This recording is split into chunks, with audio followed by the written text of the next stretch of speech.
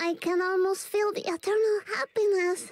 Good. The last challenge awaits at the pet cemetery. A pet cemetery? That sounds like the best place to end the game. Exactly my thoughts. It I'm glad you feel the same sus. way.